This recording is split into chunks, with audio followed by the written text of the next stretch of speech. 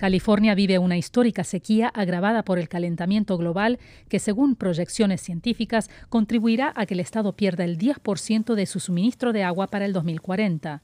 Para enfrentar la crisis de agua, el gobernador Gavin Newsom presentó un plan que adaptará a California a un futuro más caluroso y seco.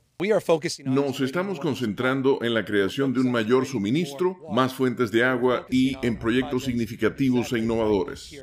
El plan incluye una inversión de casi 3.000 millones de dólares para modernizar sistemas actuales, acelerar proyectos de infraestructura para capturar y almacenar más agua en años lluviosos, promover la conservación, aumentar el reciclaje de aguas residuales y la desalinización de aguas marinas y subterráneas. Todas estas son formas de aumentar eh, la disponibilidad de agua considerando que pues probablemente de la atmósfera no va a venir más agua. El profesor Josué Medellín, experto en gestión de recursos hídricos, dice que el plan es un buen intento para contrarrestar los efectos del cambio climático que han reducido el nivel de agua en embalses estatales. El plan contempla también rehabilitar algunas de estas presas y habilitar programas de recarga de acuíferos, que eso ayuda definitivamente a mejorar el panorama de abasto de agua pero recalca que la efectividad de las medidas depende de la conservación de los usuarios. Mucho de lo que se usa en las casas es irrigación de las áreas exteriores. Eso podría representar 40 o 50% del uso urbano.